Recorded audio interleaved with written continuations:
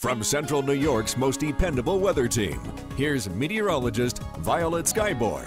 Welcome back, everyone. A chilly night is ahead with clear skies. But with those clear skies, that means we're going to see another day of sunshine as we head into the start of the week, along with that warmer weather. A live look outside from our CATV Tower Cam. Again, quiet with clear skies tonight and dry weather for the next couple of days. But also that warm weather does look to stick around. For tonight, though, with clear skies, lows will drop down to around 30 degrees. This is tonight's low temperatures, not the current temperature. 28 is what it will be tomorrow morning in Boonville, 29 in Remsen, 28 in Rome, 29 in Utica, 30 in Waterville and out in Little Falls. Tomorrow morning for the Southern Valley, still right around 30 degrees in the morning. 30 in Herkimer and New Hartford, 29 in Richfield Springs, 30 in Cooperstown, 29 in Morris, 28 in Hamilton, and 27 in Norwich. That's definitely cold enough to want the jacket before you head out the door tomorrow morning, but you won't really need it as we head towards the afternoon. Lots of sunshine expected, and that's going to warm us up very quickly.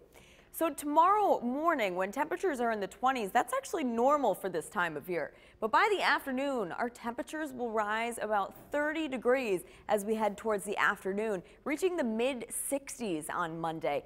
Normally, our highs are in the lower 40s this time of year, so that's like 20 degrees warmer than normal. And it's not just Monday, it's all week long. Our highs will stay right around the low to mid 60s. That is way warmer than normal this time of year.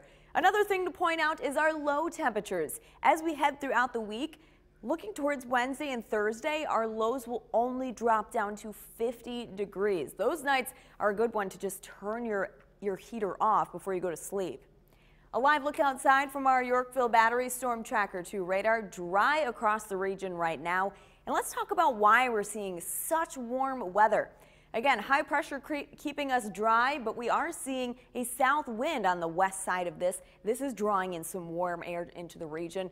But you know how our temperatures are going to warm up as we head throughout this week?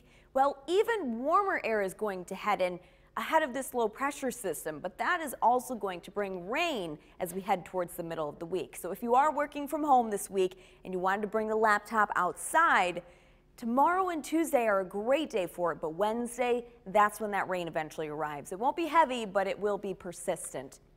Heading into tonight, dropping down into the 20s with clear skies and then lots of sunshine expected tomorrow. Highs reach the mid 60s by the afternoon.